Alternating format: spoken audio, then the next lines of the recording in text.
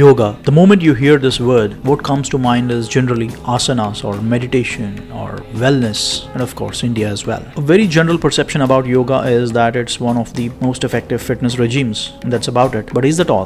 Definitely not. Yoga is much wider, deeper, and complex than what we think of. And in this documentary, we tried to cover the complete picture of yoga in a crisp and a simple format for everyone to understand. Before even getting to what is yoga, we need to first know about who gave yoga, the one which we are using today. It is Patanjali. So let's see the story of Patanjali in first place. The next, what exactly is yoga in very simple words? It is a very complex subject but we tried our best to bring forward it in the most simplistic manner. So in this chapter we'll see what it is.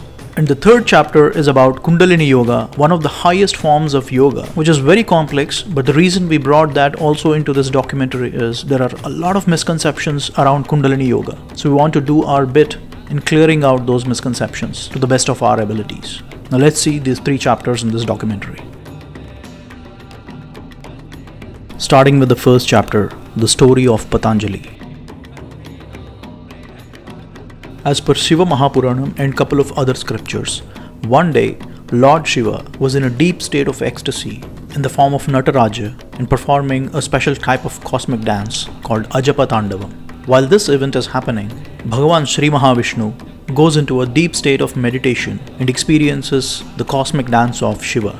Very much interested in this course of events, Adisesha who is the Vahanam of Sri Mahavishnu, requests him he also would like to experience the ecstatic dance of Nataraja. That's when Bhagavan Sri Mahavishnu orders Adisesha to go to Chidambaram, a place which is the abode of Mahadev in the form of Nataraja. And that's where you can get to experience the celestial event of Shivatandavam. In simple words, Sri Mahavishnu orders Adisesha to go to Chidambaram and serve Nataraja. One day, a woman named Gonika was praying to Surya Bhagavan for her wish of bearing a child. And as she held her hands in a praying pose, which is called as Anjali, both palms joined facing above the sky, a small baby snake fell from the skies into her hands. And that baby snake is no one but Adisesha himself. As he fell down from the skies into her hands, the downfall in Sanskritam is called as Patana, and the folded hands is called as Anjali, as he fell into the folded hands from the skies. Patan plus Anjali, Patanjali, became his name, and he took up an incarnation of a humanoid snake. After taking up that incarnation of Adisesha as Patanjali, in a place called Chidambaram in today's Tamil Nadu, where Mahadev is worshipped as Nataraja, that's where Patanjali served Nataraja. The worship of Nagas has been deeply into the culture of India since times immemorial, and Patanjali being Adisesha is highly revered and worshipped even today. And wherever Mahadev is shown as Nataraja, he has two attendants with him one is Patanjali, whom we just discussed about, and the other one is Vyaghrapada, a humanoid with half tiger and half man. If one really have to experience Patanjali, is mostly found in Tamil culture. Across India, one of the greatest cultures that has incredibly long history and heritage is Tamil culture, and that's where we have 18 Siddhars or yogis who shaped up this great culture, and Patanjali is one of them. As you see in the pictures here or in the carvings shown with the markings, Patanjali is always shown accompanying Nataraja in his dance, and that's what he wished for as Adisesha. And now let's get to the point about why we are talking about Patanjali. He's the one who wrote three incredibly powerful scriptures which helped humanity from three most important quarters of life. Now let's see what they are. The first one is Ayurveda. Patanjali wrote a scripture on Ayurveda which is called as Patanjali Tantra, which in turn of course ascribes to Sushruta Samhita. But Patanjali Tantra is specialized in various kinds of treatments for different kinds of ailments what a human can come across. It is one of the primordial sources of Ayurveda.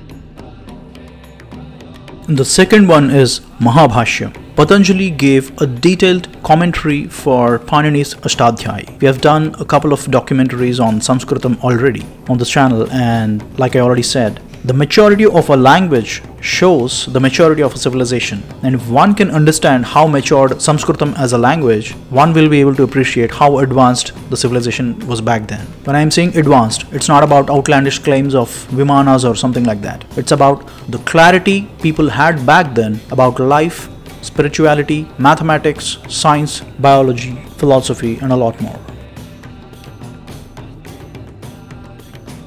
The third one, the last, and the most important reason why we are talking about Patanjali is he is the one who gave Patanjali Yoga Sutras. The foundation for the yoga, what we know today, was given by Patanjali. Now, yoga is not about stretching legs and hands on a mat. It is a lot deeper, and a vast majority of the people across the globe who are practicing yoga do not know where it came from. It came from Patanjali, and we'll see that in more detail in this documentary going forward.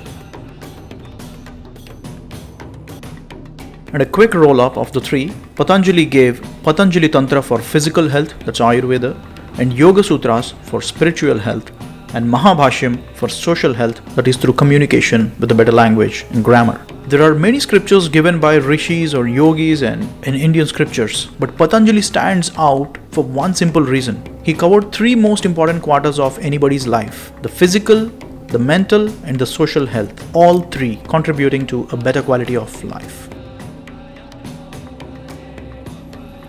Now, if you take a quick look back, yoga that started as a conversation between Bhagavan Sri Mahavishnu and Mahadev, Patanjali learned it from both Vishnu and Shiva, and he gave three different scriptures on yoga, Ayurveda, and Mahabhashya, and was passed down eventually to his student Adi Shankaracharya. Yes, that's right. Patanjali is in the Guru's lineage of Adi Shankaracharya, and Adi Shankaracharya has set up four pithas Dwaraka, Badari, Sringeri, and Puri, where his legacy is still being continued. So, the knowledge that was passed down by Bhagavan Sri Mahavishnu and Bhagavan Shiva to Patanjali, and from Patanjali to Adi Shankaracharya, and from Adi Shankaracharya to four pithas across India, running the great legacy of Patanjali. And that, in short, is the story of Patanjali. Now, let's see what is yoga in simple words. While there are many scriptures defining what is yoga, the most simplistic one, which each and every one of us can understand, comes from Bhagavad Gita. And these are the words of Lord Krishna explaining Arjuna about what is yoga. Yogastha kuru karmani sangam tyaktva dhananjaya siddha siddhyo samo bhutva samatvam yoga uchyate. That translates to be steadfast in the performance of your duty and treat both success and failure equally and such state of mind is called as yoga. Sounds very simple but incredibly complex to practice in real life. Can we really be so indifferent to success and failure? It's easier said than done, but that is what yoga is. Now that you understood the most simplistic definition about yoga, now let's get to one of the most complex definitions of yoga as well. And this is what Patanjali defines yoga as. Yoga's chitta vritti nirodha. Sounds so simple, but the meaning is so deep. Yoga is a process of restraining chitta from any fluctuations. A very loose translation of this word chitta is mind, but it is actually not mind, it's a state of mind. And we'll see in a minute what it is. Let's step out a bit towards the human anatomy. The structure of the brain, as we know, is scientifically classified into four different parts, rather five. So there are four lobes which is called as cerebrum and one lobe called as cerebellum. And these four lobes together are frontal lobe which is responsible for personality characteristics decision making movement and actions like that. And the parietal lobe is more about identifying the objects interpreting pain touch in the body. So these are the functions of this part of the brain. Occipital lobe it controls the vision and the color perception about your abilities on recognizing the colors. All those are stored in this part of the brain and the fourth one is temporal lobe which is mostly the reservoir for short term memory, hearing, speech, perception of musical rhythm, etc. And the fifth part is cerebellum, which is to coordinate voluntary muscle movements, to maintain the posture, balance of the body, etc. So, this is the construct of human brain as we know today. And depending on which state of mind you are, different parts of brain gets activated and the actions are directed accordingly. Now, if we try to understand the same human brain as per Yoga Siddhantam, the anatomy is classified in a different format. Towards the left, what we just saw, the lobes with different functions, the physical classification of the tangible parts of brain, that's how the anatomy is classified. While in Yoga Siddhantam, the human brain is classified into four levels four levels of consciousness, or in simple words, four different states of mind. So, the state of mind defines how the brain behaves. So, the first level is manas, and the second level is ahankara or ahankaram, and the third level is buddhi, and the final level is chitta. These are the four levels in which a human brain could oscillate. And on a lighter note, you should not be comparing these two because the purpose is totally different. The scientific classification is more towards understanding the physical properties of a brain, while Yoga Siddhantam focuses on a holistic approach about how your brain would function in different states of mind. So they are not contesting but complementing each other. It is quite important to understand these four levels of brain as per Yoga Siddhanta. So let's briefly see them, starting with the first one, Manas. Manas is a state of mind where the sensory perception of pleasure and pain takes the center stage. And in any of your decision makings, such kind of a pleasure would be the deciding factor whether you would like to opt for something or not. It depends on the pleasure or pain you derive from doing that specific thing. You take the call whether you want to do it or not. And that is the state of mind called manas. And the second one is ahankaram. Here, it's an egocentric attitude in decision making.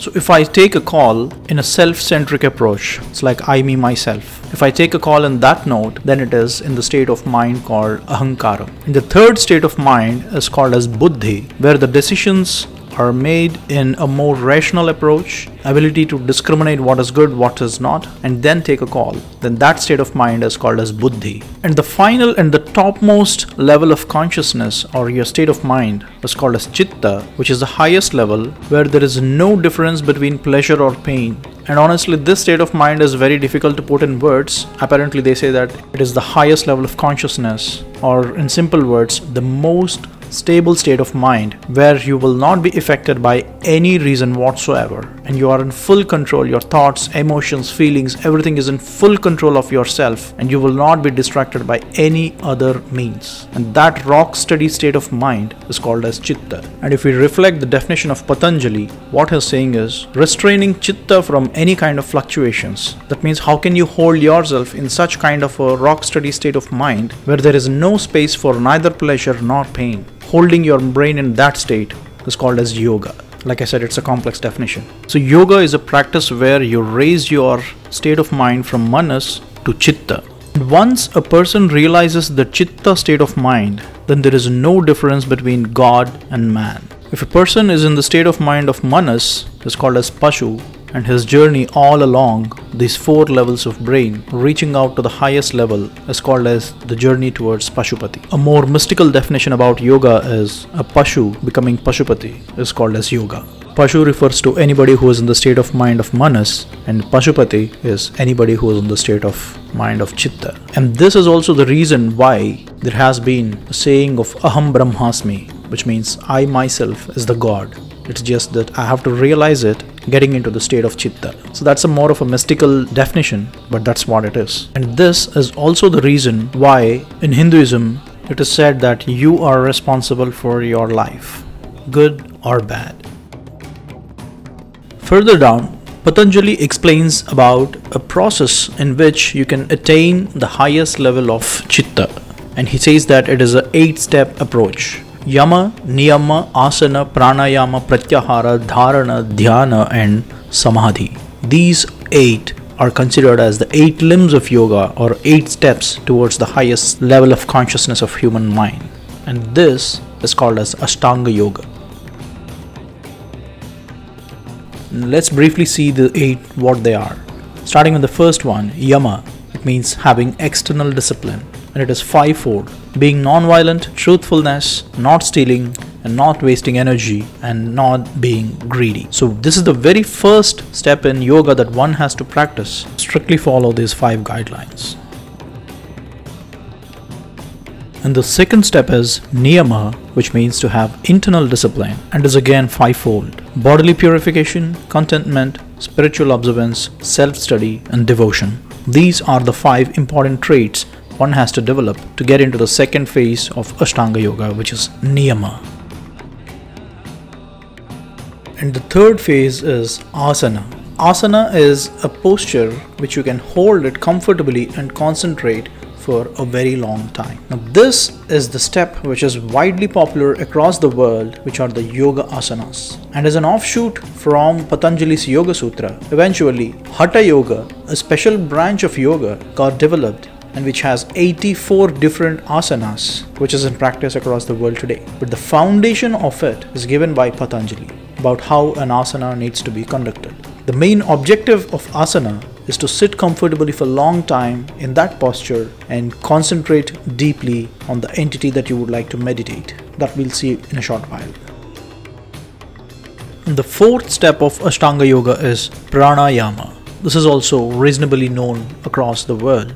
Controlling the motion of exhalation and inhalation flows is called pranayama. And one very important point here with respect to pranayama is it sounds to be so simple and easy task, but it is a very, very complex process. And I'll hold that for a minute because we're going to see something related to pranayama in a short while. Up next, and the fifth step of Ashtanga Yoga is Pratyahara. It is a process of withdrawing the senses from their abilities from this step onwards, it goes into a metaphysical nature, but that's what it is. In this step of yoga, it's all about withdrawing the sensory abilities of the sense organs voluntarily. The sixth step is dharana. Dharana is holding the mind onto a particular object of your focus. It, it could be an entity or an object or a murti of a god, anything that you would like to concentrate and meditate upon remember that the choice of the entity is also very crucial. Say, for instance, if I am a devotee of Shiva, I could be meditating on uh, a Shiva Lingam. And the seventh stage is called dhyana. Dhyana is a state of meditation. An unbroken flow of knowledge from that object of meditation is called as dhyana. At this point, the person who is meditating will think of nothing else except the entity about which he or she is meditating. Say, for instance, if I'm meditating on a Shiva Lingam, I think of nothing else but fully just about that Shiva Lingam, and that state is dhyana. And this state is very powerful because this state of dhyana is the foundation for Buddhism, which originated eventually from Hinduism, and it is called as Zen as it went eastward. Dhyana became Zen. The eighth stage of Ashtanga Yoga is Samadhi, a final thoughtless state of mind It is called as Samadhi. And this stage, a person will realize his or her highest state of mind, which is Chitta. It is difficult to verbally articulate what the stage is, but they say that this is the stage where one can realize Aham Brahmasmi, that I myself is the God. Back in the year 1961, a French cardiologist conducted a research in India about voluntary control of heart with yoga. A lot of experiments were done on 4 to 5 highly proficient yoga gurus who can stop their heart. Yes, you heard it right. Who can voluntarily stop their heart to almost a steady state during the deep state of yoga. Sri Tirumala Krishnamacharya, yoga guru who is highly revered, who practiced yoga for his lifetime. So a research was conducted on Sri Tirumala Krishnamacharya along with four other yoga gurus, where they could stop their heart. You can see the ECG or the electrocardiogram reports here. The one which is highlighted is in a deep state of yoga of Sri Tirumala Krishnamacharya, where he took control of his own heart and he slowed it down, not with an intention to slow down, but when he enters that highest level of state of mind, which is chitta, with a strong practice of pranayama, even the involuntary functions of the body can be brought into control. And anyone who meditates at that state, like I said, will be in the rock solid state of mind and body as well. A person taking control of involuntary functions of a body might go against the current laws of modern medicine, but that's the limitation of modern medicine where yoga goes much beyond that. It is just that we haven't discovered fully the potential of yoga. And this research paper details about how the yogis in India back then took complete control of their body, including the involuntary functions. This is the power of pranayama. And Hatha Yoga says that if pranayama is done in a right way, it will cure many bodily ailments. And if it is not done properly, it will bring all kinds of new ailments. So that is the reason yoga should always be administered under a supervision of a guru. Now the Ashtanga Yoga which we saw just now, the 8 steps, the journey from Pashu to Pashupati via the 4 levels of mind. It all might sound a bit abstractive or difficult to follow, but that's what it is. It's not so easy. It takes a lifetime of practice. And at the highest state, just like how we saw, the human body responds into a totally different direction beyond the understanding of modern science. In my opinion, the true potential of yoga is not really discovered by the current generation hope we will understand it in the years to come. As the Ashtanga Yoga is very complex to understand, that is the reason I pulled up this most simplistic definition about yoga from Bhagavad Gita. We do our duty and stay indifferent to success or failure, and that is yoga, the most simplistic form of yoga which each of us can practice.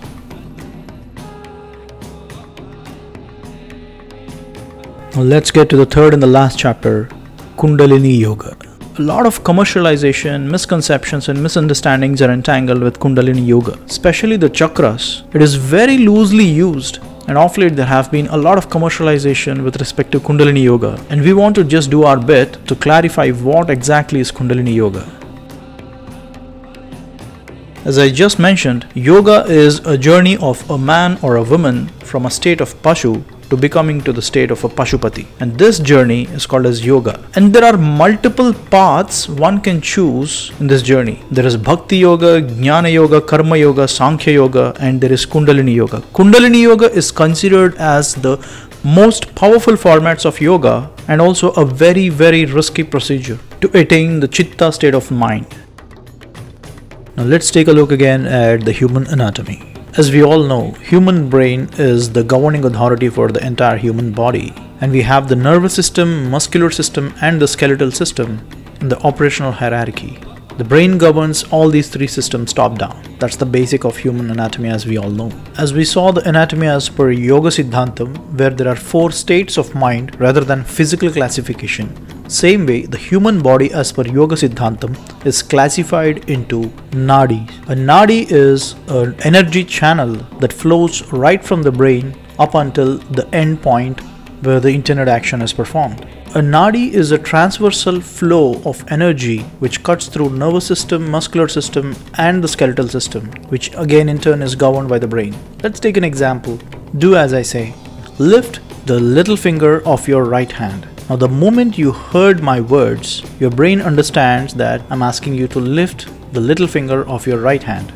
It understands that what is right hand and what is the little finger in the right hand and sends a signal from your brain to the little finger which you wish to lift and that's how the action is performed. Now as per human anatomy, this entire process goes through your nervous system, muscular system and the skeletal system because of a signal that was fired from the brain to lift the finger. Now this entire flow of energy right from your brain up until your little finger of right hand could be called as one nadi. So as per Yoga Siddhantam, instead of classifying them independently, Yoga Siddhantam classifies the entire human body in forms of nadis and there are 72,000 of such energy channels in human body. Again, like I said, it is not a comparison between the human anatomy as we know today versus Yoga Siddhantam. They again complement each other, they do not contradict. Just that the nadis are not practically visible but are a logical classification about how the energy flows right from your brain to different parts of your body.